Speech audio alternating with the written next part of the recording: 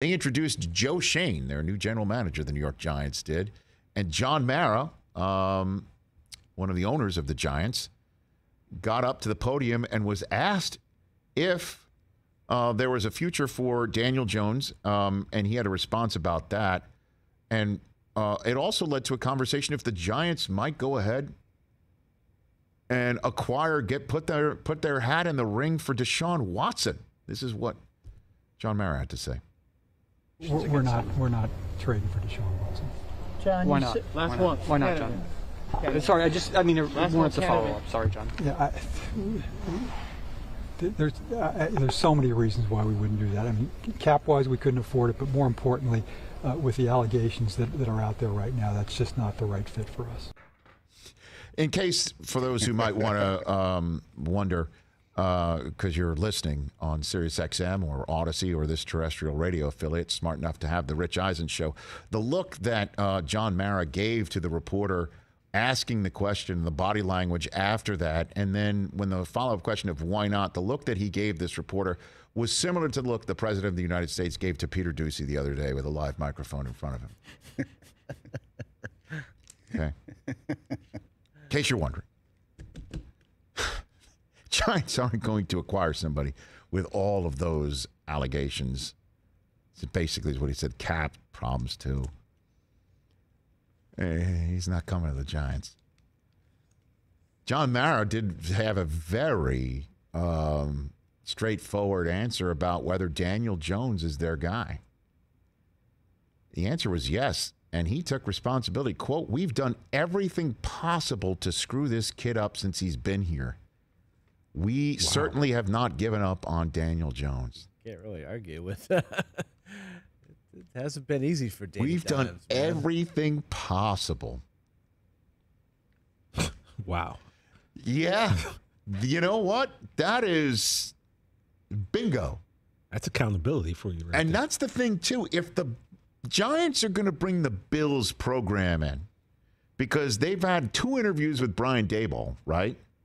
And they've had an interview with Leslie Frazier as well. If they're going to bring the Bills program in here, Daniel Jones can run it and throw it too, folks. yeah, you can. Now, obviously, Josh Allen, as I've mentioned here daily, is the man. I mean, like, it's obvious now he has placed himself on the perch of best in the league, argument of best in the league, best of his generation. He has now placed himself in that argument, the way that he has ascended year after year after year.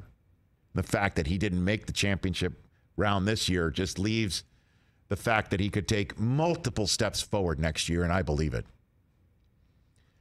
So Jones can throw it and run it too. He's not as, you know, thick as Allen. Like he's not delivering the blow at the end of the run like Allen.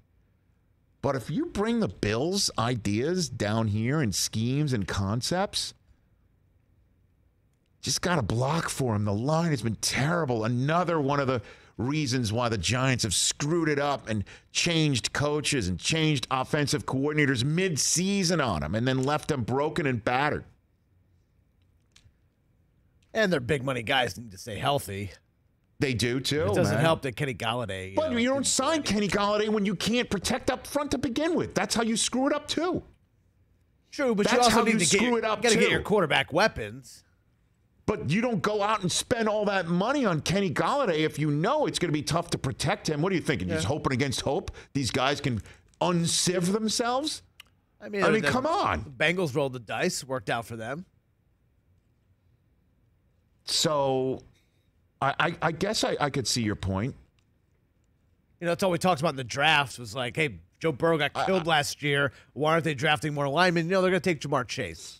All right. that's a, no, that's an excellent counterpoint there, but um, maybe that's the outlier. yeah. And Jones clearly uh, in Burrow. I mean, No, I don't I know how many people are, Clearly not. but if you're the Giants, I would definitely stick with Daniel Jones rather than bring in Deshaun Watson with everything else that's going on. And it's expensive. Well, yeah, Right now, you- all you got to do is pick up Jones's fifth year option if that's what you want to do. You don't even have to do that. Yeah. You got him. obviously, to get Deshaun Watson, you'd have to give up number five and number seven, which you definitely don't want to do. And Daboll getting his second interview there, that that wouldn't be the bad move. I think That wouldn't be the bad move because there, there was a, uh, you know, Roman Oben, former NFL player Oben, who's now in the NFL front office. Uh, he tweeted out yesterday something that, that hit in my timeline.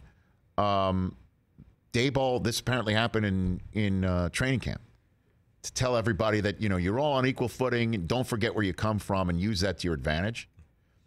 He had the coaches and the players in the room, Daboll, addressing everybody. And he asked all coaches if you've been fired uh, or let go, you know, however you want, not renewed, sit, you know, sit down.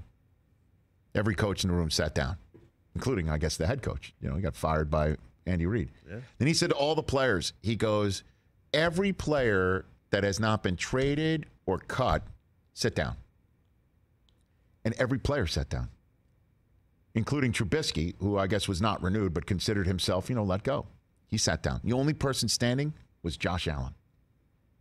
wow. And then he asks Josh Allen, he goes, How many offers out of high school did you get? And Allen goes, Zero.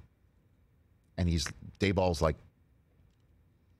Don't forget where you come from, everybody. Mm-hmm. And I get goosebumps just even recounting that story. That's awesome. I put that out there and I got all these Giants fans saying, That's my guy. That's cool. Maybe he is. Hey, you watched all the way to the end. Thanks for that. Watch more right here.